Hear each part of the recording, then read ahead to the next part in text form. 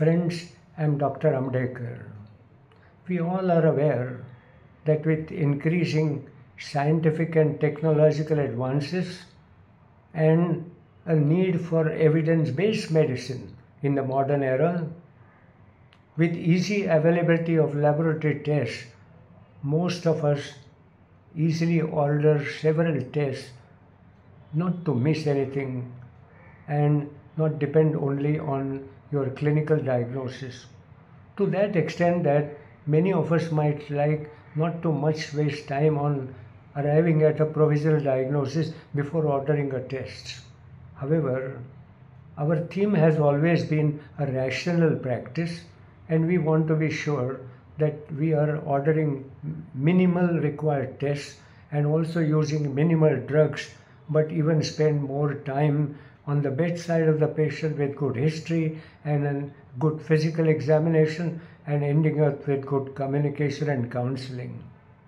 And we all know that ultimately the test results must have an additional value of either confirming or at least supporting and if not ruling out a provisional diagnosis and therefore a provisional diagnosis is a prerequisite of ordering a test but that's not enough we need to test the tests and by that, what I mean is that we must have a test uh, giving additional value to confirm the diagnosis and also guide us therapy. With this kind of background and knowing that a positive test may not mean an active disease and a negative test may not rule out a disease, we need to have a reasonable thought on testing a test. Now we know that after making a good provisional diagnosis based on a good clinical thinking and analysis, we start deciding whether the test is required at all. For example, if you have a classical uh, acute tonsillitis in a healthy child, high fever, toxic looking child, bilateral, largely inflamed edematous tonsils, maybe with some exudate on the surface and with a submandibular gland there, your diagnosis is very clear. There is no need to have evidence of that diagnosis and not even knowing bacteriology because we know that it's a gram positive organism and most important is you are able to follow the progress even with naked eye bedside medicine.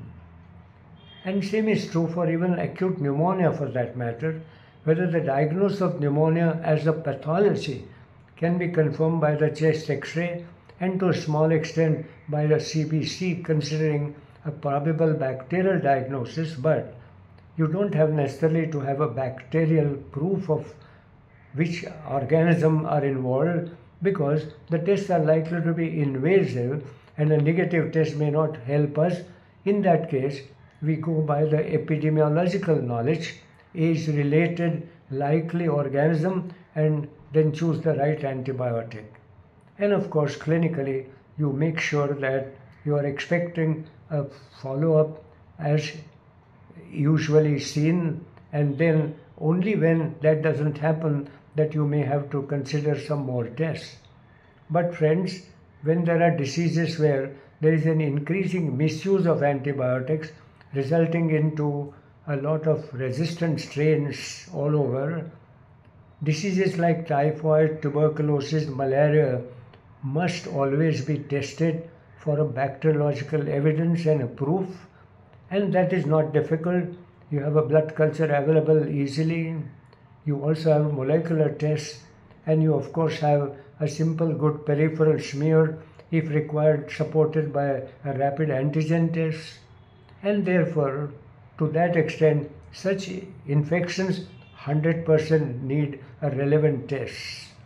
But when it comes to say a disease like suspected meningitis or a UTI, of course knowing that a subsequent complications if mismanaged, if with wrong antibiotic choice could make a lot of difference.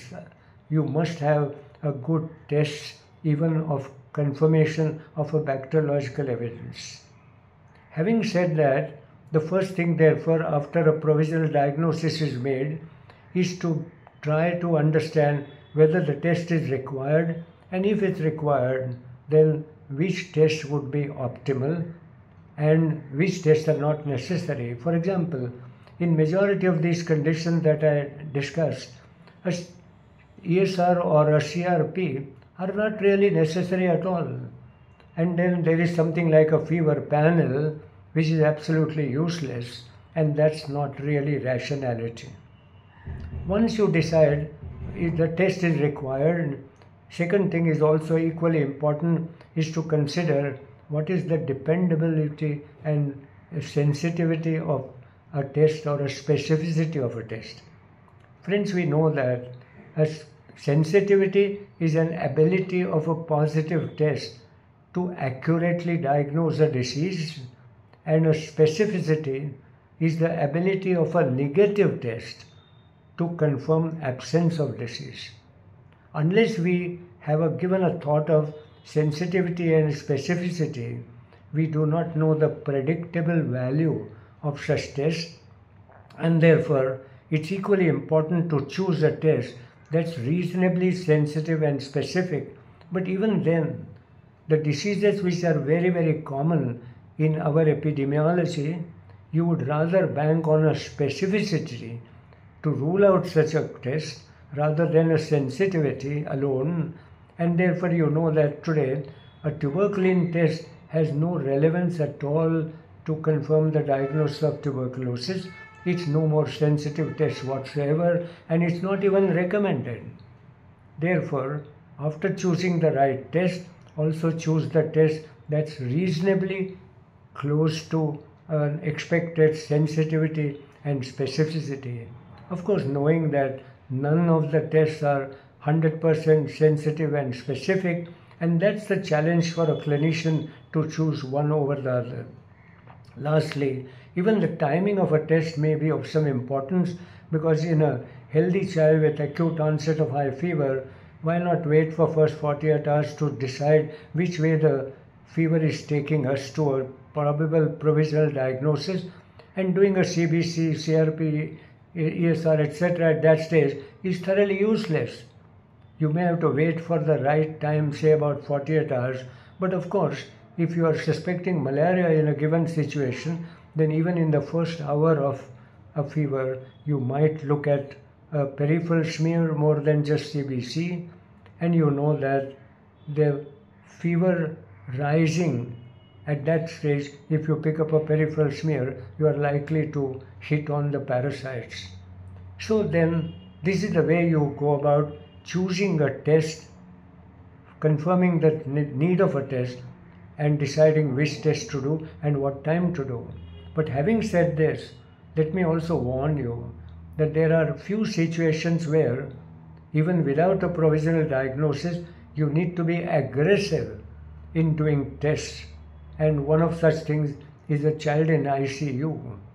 In an ICU, there could be a multiple systems affection, and to that extent, a clinical diagnosis is not really dependable at all, and you must be aggressive in ordering several tests to make sure that every organ is not threatening to go down clinically, which is much later to arrive, and therefore, in a any patient with high risk like a neonate or an immunocompromised patient, you would be aggressive not only in ordering tests but also ordering therapeutic measures. Having said all this, then, friends, at the end I would summarize that testing a test is important and just don't order a test. But a provisional diagnosis is a prerequisite of every test to be ordered then choose the right test, confirm the test is really of value, it adds some more information that you required, make sure it's reasonably a reliable test, dependable test with good sensitivity and specificity, and it done well. And then only we will be practicing clinical medicine rationally. I hope I have made a point of testing a test and I hope you're enjoying this series Now, this series will take you through some of the investigations and how a clinician should look at it. Keep on being with us and also try to spread the knowledge of such YouTube channel to every friend of yours. Thank you very much.